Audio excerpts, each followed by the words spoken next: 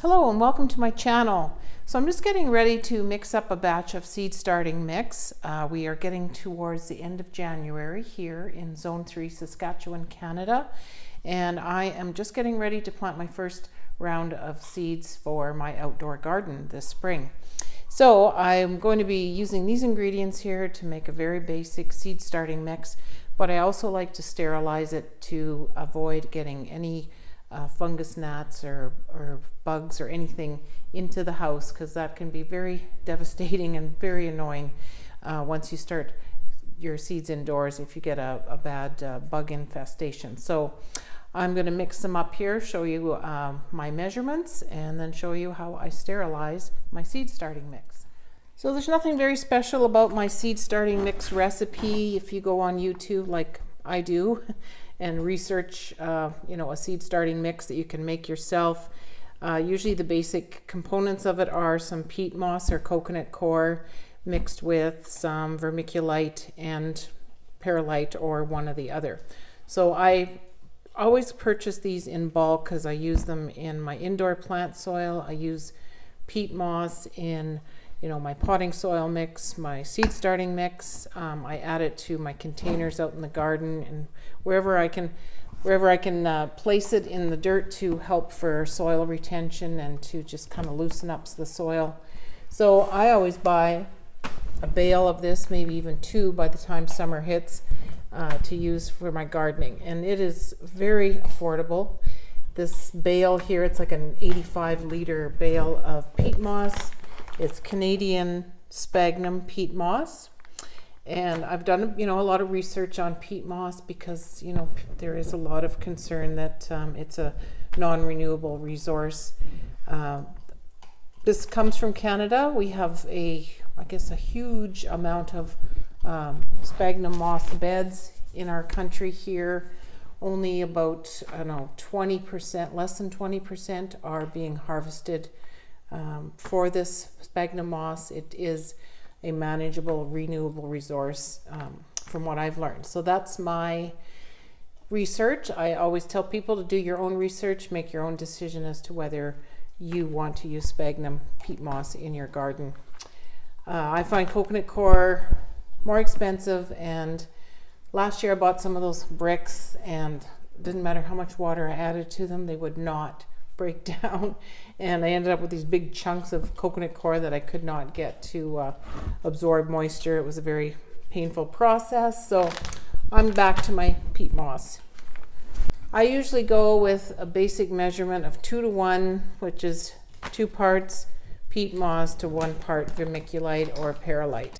So I can mix up small batches very easily in a container like this and it's very easy to sterilize it. So I'm gonna start off by mixing up two parts peat moss to one part of the perlite vermiculite combination. So I have some uh, almost empty bags of perlite and vermiculite here. I'm just going to start off by pouring them into here. And I do recommend wearing a mask or, you know, just kind of letting the dust settle a little bit before you start breathing, especially if you're doing this, you know, in indoors. I'm out in the garage right now. I'm going to use mostly perlite in this mixture.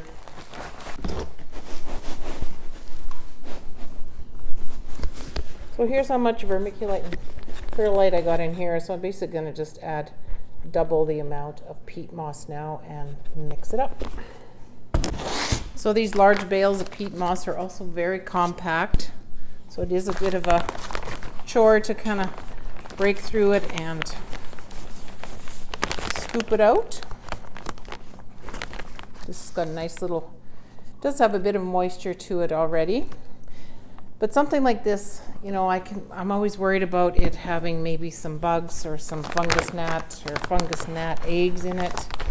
You don't know where it's been or if it's been fully sterilized. So this is why I like to do my own sterilization, just to be sure. And you can buy, you know, those bags of uh, seed starting mix for, you know, about 8 to $10, which, you know, isn't uh, super expensive. But I find that, you know, making my own over the long run and buying the sphagnum moss and having the perlite in bulk is quite economical. Uh, a bale like this in Saskatoon and Saskatchewan is about $14, so that's not too bad. The perlite and the vermiculite were five dollars and or six dollars and seven dollars each for these three liter bags or six liter bags. So we can get a lot of seed starting mix made out of that and when it comes time to potting up all my my seedlings into larger pots I will make the same mixture I'm making here just amend it with some you know some all-purpose fertilizer. I thought about adding some of my worm castings that I just recently harvested just to add that little bit of uh, nutrition and fertilizer to to my seed starting mix, but um, I have been keeping my vermicomposting bins outside during the summer, bring them in in the winter to the garage, and I can see that there's fruit flies and who knows what else kind of bugs. And again, I don't want to bring any kind of that infestation into the house. So any of my homemade compost or worm castings that I have harvested on my own I don't use them in the house. There'll be lots of chances to use all that in my outdoor containers this spring and summer when I get growing outdoors. So we see here now I've got about a two to one ratio of the vermiculite and perlite to the sphagnum moss. So I'm just gonna stir it all together and then we will add some boiling water. So as far as what I'm going to be starting from seeds very soon, I'm going to be starting with onions. Those are one of the uh, seeds that you should start fairly early, you know, 10 weeks prior to 10 to 12 weeks prior to your last frost date. And um, they should actually go out into your garden before your last frost date. So I'm hoping that I will be planting out my onions, you know, at the beginning of May. Here in Zone 3 Saskatchewan, our last frost date is about the third week of May, sometimes the end of May, depending on what kind of a spring you're having. So my plan is to have onions ready to go out into the garden uh, at the beginning of May. So before we get the boiling water added in here, it's good to just go through and really break down all those lumps that uh, you find in the peat moss You want to get your soil as loose and airy as possible so those little seedlings don't have to struggle to push their roots down through. So when seedlings are first germinated, they don't need any nutrients in the soil to uh, germinate. They have that naturally within the seed. So that first period of time when they are germinating until they get to that, you know, two leaf stage, you really don't need to worry about having any nutrients into the soil.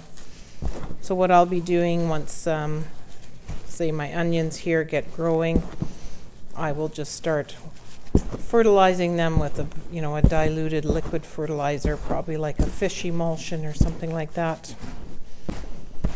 So once you got this good and mixed up, I think we are ready to add in the boiling water. So I've just brought this to a full boil. I'm hoping this is going to be enough for this amount of dirt. If not, a second kettle of boiled water might be required. So basically I'm just going to pour that boiling hot water into this mixture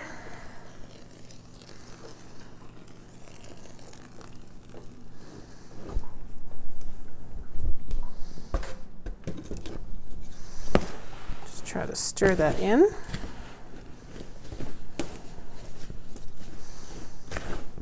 I know some people also do a method of putting the dirt in the oven and you know at a high temperature and kind of sterilizing it that way.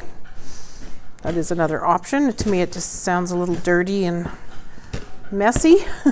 so I like doing this method. And I do this for soil, you know, even for house plants. If I buy a bag of potting soil for my indoor house plants. Um, I like to always uh, use a boiling water to kill off any bugs and it also, you know, gives that moisture that you need to add into the, the mixture.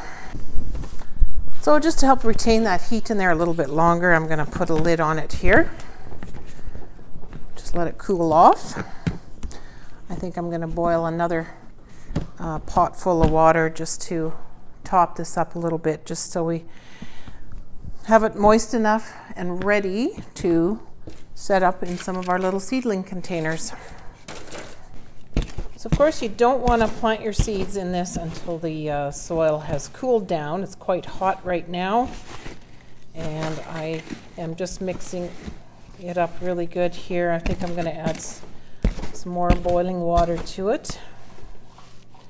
So when you uh, get it moistened, you want it to not be dripping, but you want it to kind of hold together when you squeeze it. So just not quite enough moisture in there right now.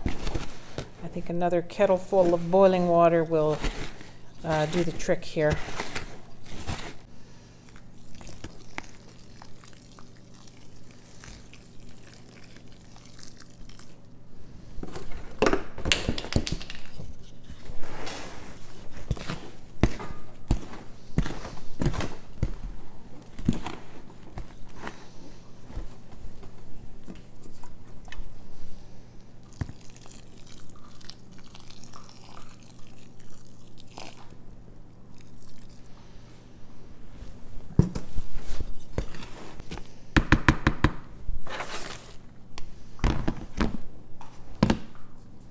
Another thing you want to remember after you've moistened your seed starting mix or your potting mix that um, something I've learned from the past is, you know, you have all that moisture in there, it's warm, you put a lid on it and you leave it for a few days, you come back and you might have some mold growing on your dirt. So when you're storing it, especially when it's uh, got a lot of moisture in it and it um, hasn't fully cooled off, just kind of keep your lid a little bit of a jar so there is some air getting into that container.